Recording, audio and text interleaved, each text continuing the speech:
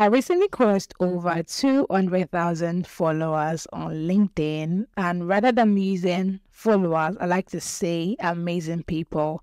And in today's podcast, we are going to be talking about the journey, how it has been, what have I learned so far, tips and tricks that you can also use if you're trying to achieve this number. And so, without any further ado, let's just get started. Welcome to the DFY show where we empower entrepreneurs, professionals, and business owners with valuable resources to accelerate their growth and unlock your full potential.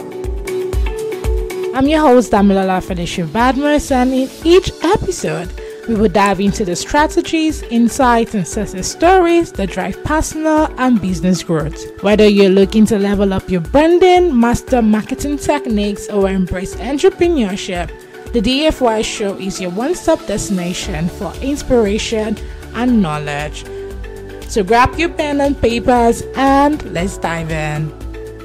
A big thank you to everyone that has been part of this podcast. I mean, it has been an amazing journey. We are currently in episode seven, and it's been a lot of hard work, it's been a lot of dedication, it's been a lot of consistency. But I think I'm really happy about how the journey has been because without you being consistent in anything, it might be very hard for you to achieve your goal, right? And so last week I couldn't record a podcast, but this week I said I have to do one. Last week I just wanted to take some time to rest because it was a very busy week for me, you know, working back to back. I just said my health is very important and I just took a break from last week. So this week we have a lot of things in stock Yes, I mentioned about 200k followers. Well, yes, we are currently over 200,000 followers on LinkedIn. And if you're still not followed, if you're still not connected, what are you waiting for? Just head on to your LinkedIn right now and follow at Felicia Badmus. I get to share a lot of interesting things for you.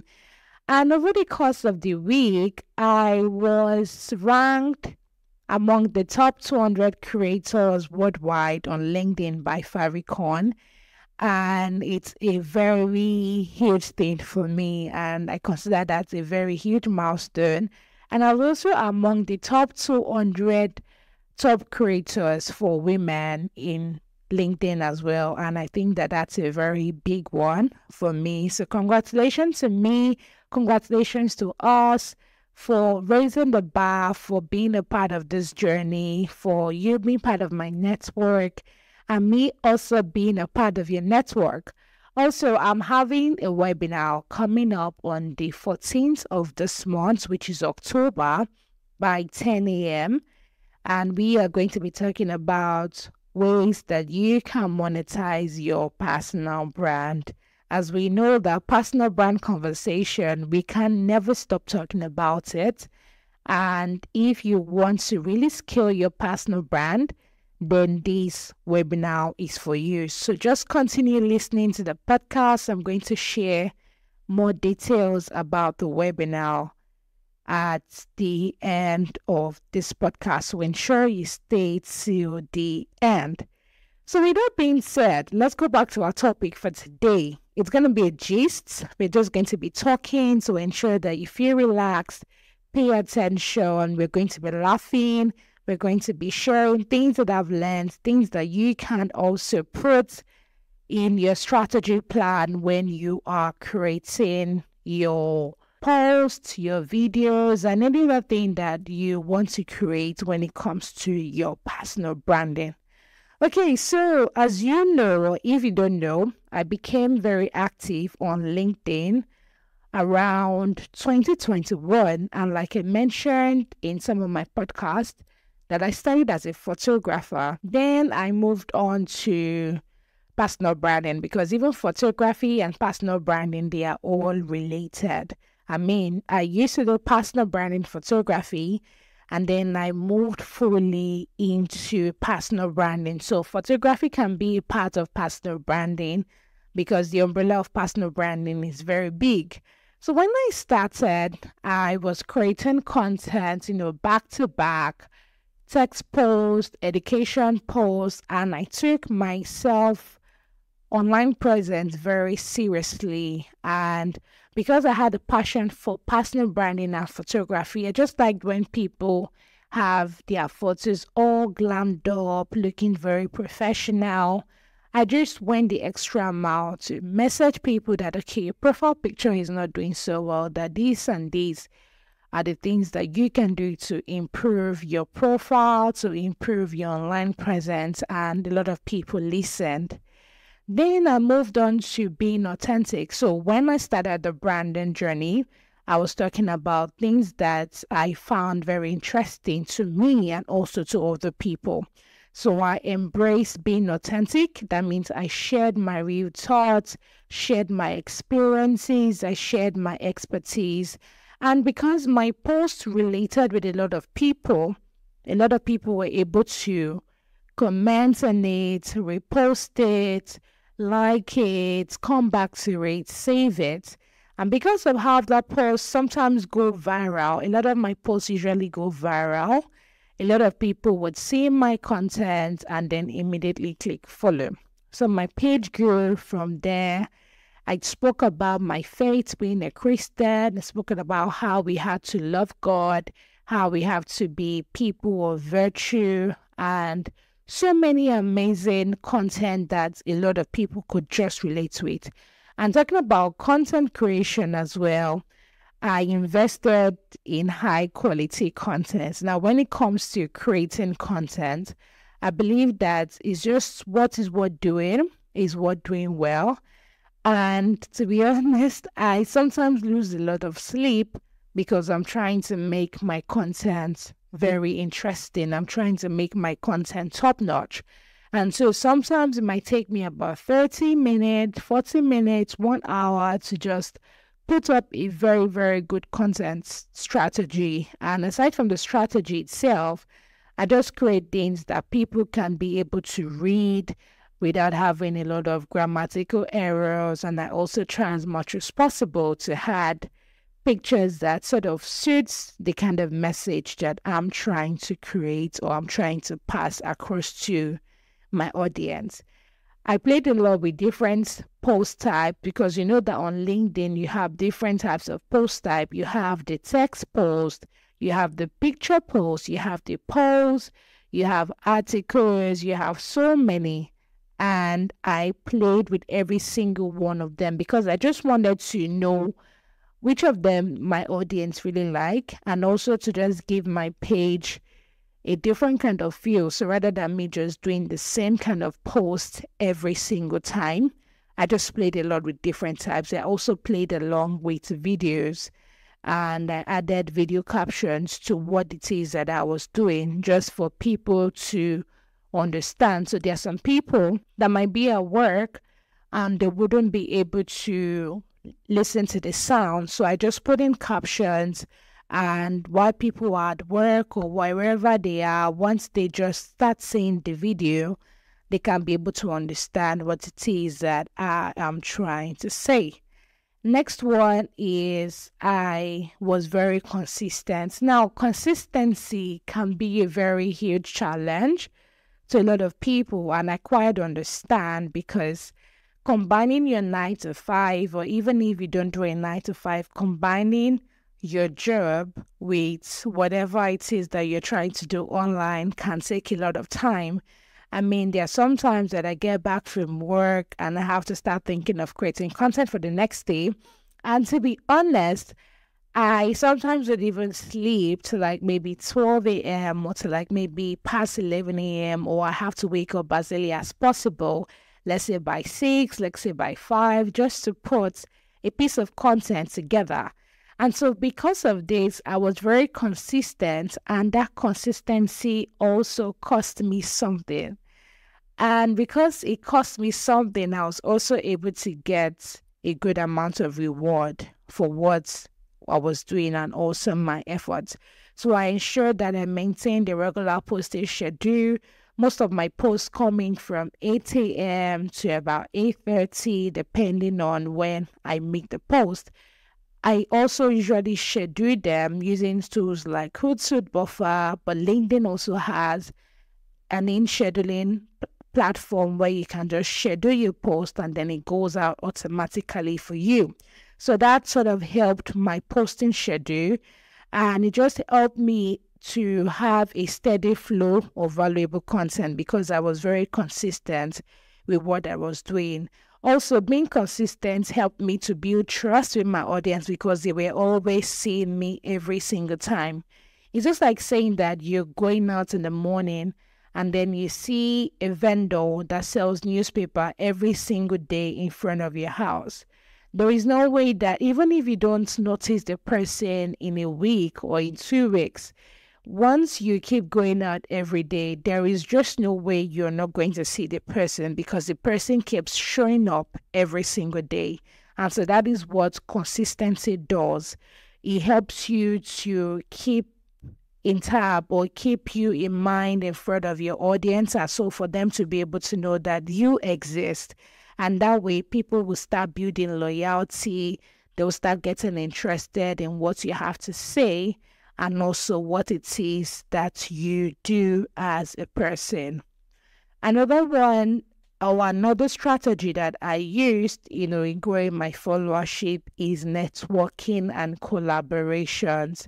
Now, networking for me is a big deal because I remember that when I started on LinkedIn, somebody reached out to me in my DM and said, Okay, Dami, would you like to photograph my event?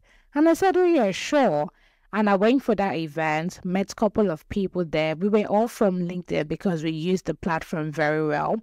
We connected. I took the photos of them. I sent it to them. They started tagging me. And you know how LinkedIn works that if your connection, let's say you like my photo, your connections are going to see that you like my photo. And if they see, if they like the photo as well, they might probably just check out my profile and then they get connected. So because of that, my followers started to grow.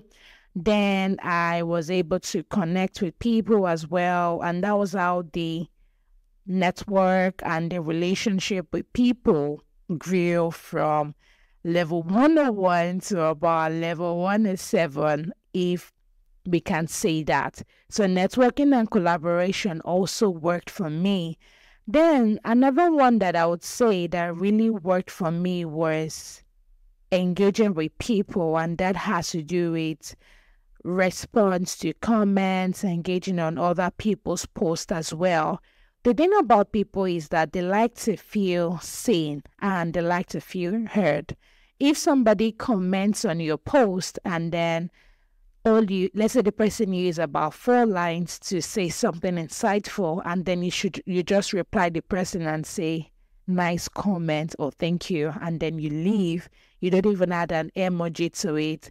It's going to be very hard for the person to want to come back to your post because they might think that you after all you don't appreciate my comments on your post so trying to be friendly really helped me. I tried as much as possible to engage with people like I was with them in person, like I've known them for a while. And this really, really helped my relationship with people.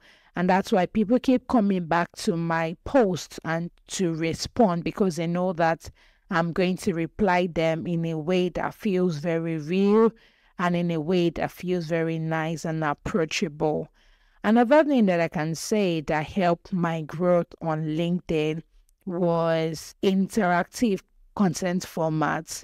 So I use things like polls, I use things like audio events just to communicate with my audience. At the time, I was using LinkedIn Live, which was more of the video format, but ever since LinkedIn Audio came forth, I've been very consistent with LinkedIn audio. And so that form of interaction really helped me with my audience. And I think the highlight of everything for me was creating stories and sharing things that people could relate to it. Now, when it comes to storytelling, how how do you structure your story? How do you pass across a message? I did this very well, and because of that, a lot of my audience were able to understand things I was saying. They felt it was interesting to them, and they clicked the follow button. So sometimes I've shared stories about stories about how I got married, stories about how I got a new job, stories about my wins, stories about my failures. And because of this human touch, people were able to relate and then they liked the post, it went viral. Many of them over 80,000 impressions, a lot of following, and the brand just kept growing. Then another one I think helped was also delivering education content, meaning that you're sharing content that are very educative and because people want to learn. So LinkedIn is way different from other platform because it's a professional platform. And so people come to that platform with the idea of they want to learn something new. And when you teach them things that they don't know, or you just bring their attention to things they don't really pay so much attention about, a lot of attention to rather, they are going to give you their loyalty. So all of these things encompassed together really help my posts and it also helped my visibility on LinkedIn. And then the pictures I used because they were very professional and high quality.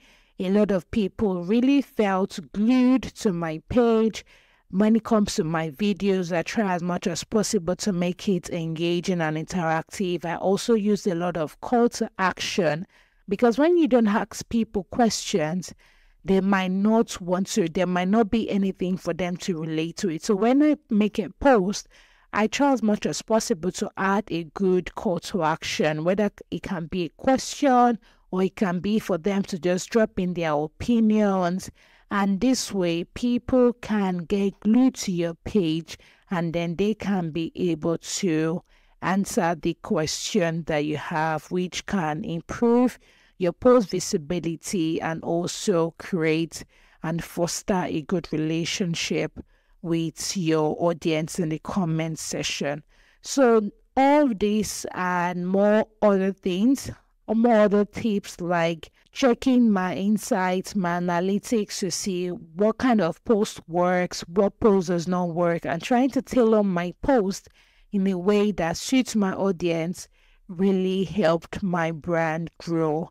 And so that's it. So, in summary, my journey to 200k followers really was impacted by me being authentic, by posting quality content. I was also active with engaging with people, responding to DMs, strategic networking, and also with genuine passion for empowering others. And so, because of this, a lot of people have found me worthy you know, to just click the follow button and it really, really means a whole lot to me. So there you have it. I was able to gain over 200k followers on LinkedIn. And if you try as much as possible to also use this strategy, you can see how far your brand can go. And remember, it's a journey. You don't just wake up to 200k followers in one day. It takes a lot of time for people to build trust. It takes a lot of time for people to want to understand what you're saying, for them to be able to buy into your vision. So you have to be patient. And in also being patient, you have to give value, value, value. So I hope you learned something new. And don't forget that I'm also having a webinar, like I said earlier in the beginning of this podcast. So the webinar is on the 14th of October by 10 a.m. prompts, and you can get the link to the webinar on my profile at Damilola Felicia Badmus, or you go to bit.ly slash capital letter RBA webinar. So bit.ly slash capital letter RBA webinar. I would also put the link in the description box, so please do well to register and also, don't forget to please rate this podcast, follow it so that more people can find it. You can also follow me on LinkedIn at Damilola Felicia Badmus. And don't forget to subscribe. Don't forget to tell people about this podcast. Don't forget to share it So till I come your way in the next episode. Bye for now.